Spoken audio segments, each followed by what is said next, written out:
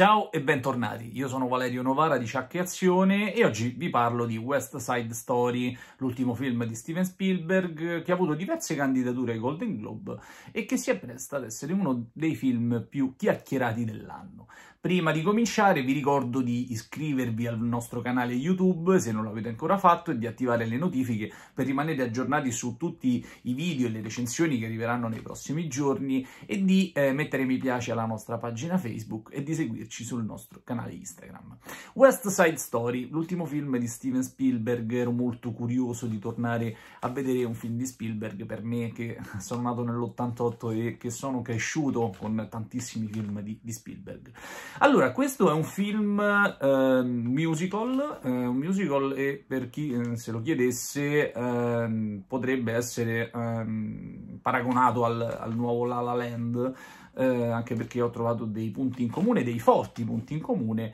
ed è stato inserito nella categoria eh, miglior film commedia o musicale ai prossimi Golden Globe che ci saranno questo fine settimana. West Side Story è uh, la trasposizione cinematografica, la terza trasposizione cinematografica del uh, musical degli anni, uh, degli anni 60 e Spielberg ha deciso di riprendere in mano questo lavoro e lo aveva annunciato qualche anno fa e si pensava che eh, dovesse uscire ancora prima, poi c'è stata la pandemia e quindi un ritardo nelle riprese hanno impedito al film di essere in sala prima. Eh, è un film che va visto al cinema perché eh, così si può apprezzare benissimo sia il canto e eh, l'audio, soprattutto il sonoro di questo film che è fantastico e devo dire che anche gli attori sono stati bravissimi e eh, il corpo di ballo e eh, i vari personaggi che si susseguono sullo schermo in una New York degli anni 50 nella quale ci sono queste due bande rivali tra americani e quindi emigrati europei a New York e emigrati portoricani e c'è già questa eh, enorme diatriba che eh, dall'inizio del film si sussegue in un modo sempre tra il comico e il drammatico fino alla fine e i temi affrontati anche in questo caso sono molto attuali, purtroppo devo dire sono molto attuali perché poi c'è sempre questa cosa del razzismo e del tu non fai parte della, del mio paese, tu non ti puoi ritenere americano perché hai la pelle scura, scura. e sono argomenti che veramente eh, è, è una follia pensare che ancora oggi esistono questi problemi, poi negli Stati Uniti abbiamo visto tantissimi film sull'argomento, ma in questo caso eh, la violenza, eh, in particolare gli scontri che avvengono fra queste due bandi rivali per il territorio in una situazione poverissima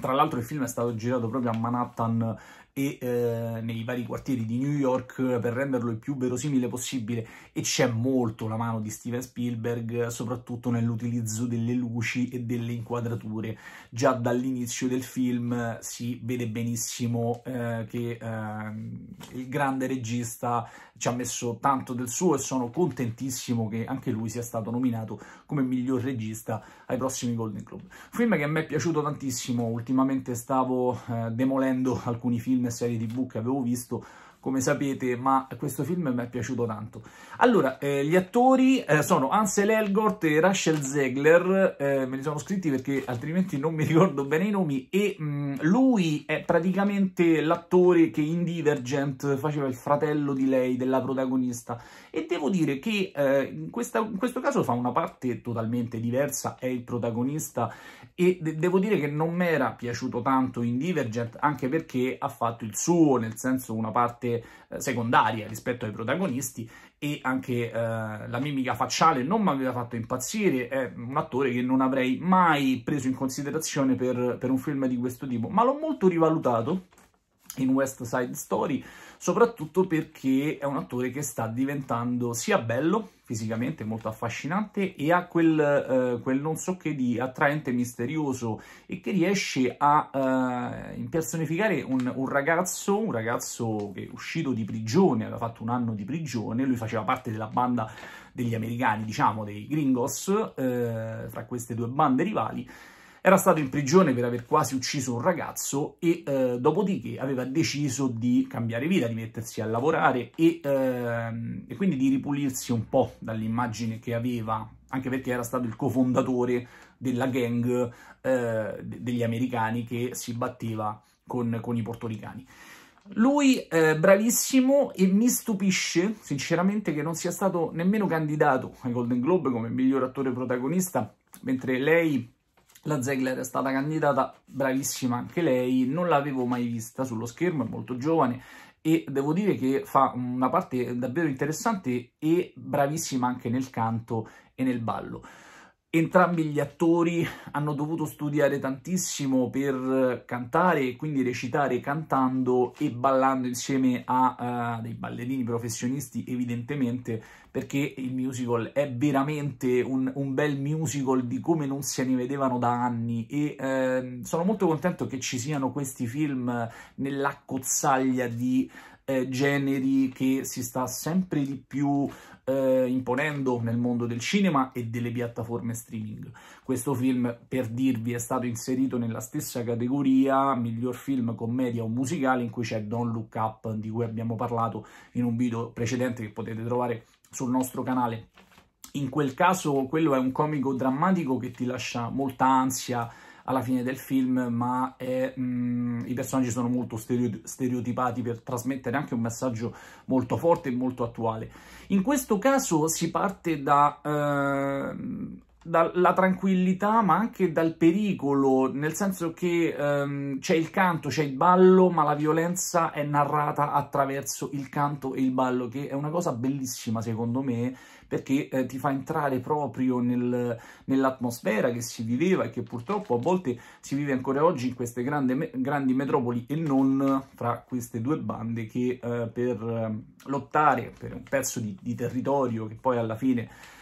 sì, dovrebbero sentire tutti eh,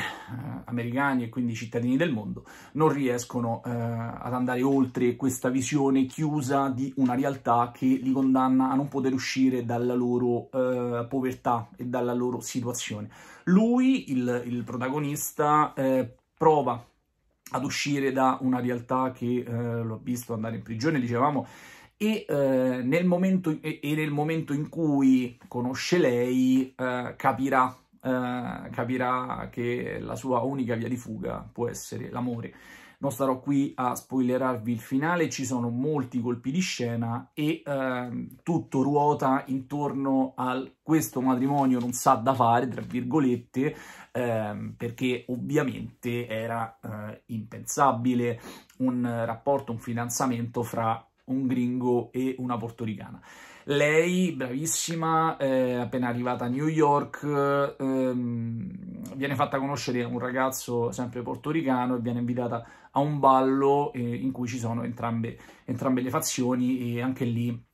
c'è sempre la sensazione che sia sul punto di eh, scoppiare una rissa e eh, che qualcuno si faccia male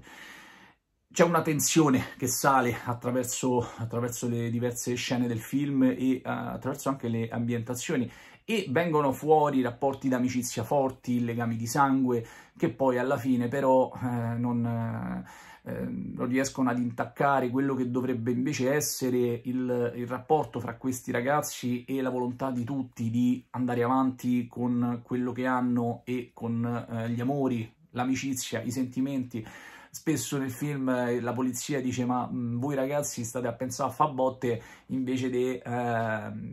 fidanzarvi o di conoscere una ragazza. E questa purtroppo è una cosa che, che viene fuori ancora oggi nel presente quando eh, tanti ragazzi purtroppo preferiscono magari eh, fare una rissa e per futili motivi e che poi va a finire anche male con tanti episodi di cronaca che vediamo su, sui giornali eh, magari per una parola detta a una ragazza o per un complimento buttato lì.